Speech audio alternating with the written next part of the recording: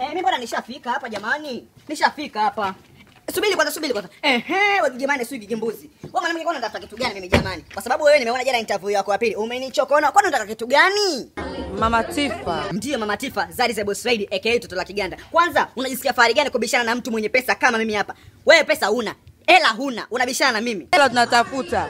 Wao, pesa utatafuta. Tafuta sasa tuone kama ni rahisi. Mwangalie ugeke alivyomchachama. Kama chungu cha kande cha kipale. Alafu unajitagigi pesa. Na mimi nataka katokea mshefa babu mjini puka hapa kariku. Ha! Mshafa mtoe wapi wewe? Mtu mwenyewe na nyota ya buku, mwangalia mikopo yake ilivyompinda kama upinde wa mvua na mkomo ulipokochomoka kama nundu ya ng'ombe wewe. Kwanza una sifa kuolewa, nafikiri atakuoa nani wewe? Sifai kuolewa au unaona siwezi kukubali kutoto? Sio tu ufai kuolewa, pia una hadhi ya kubishana na boss lady kama mimi chezea kaaba. Kaaba una rangi na mvuto ndani yake.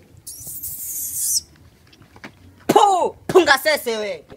Jibebebe, asa jibebebe, embu jibebebe, sio jibebebe.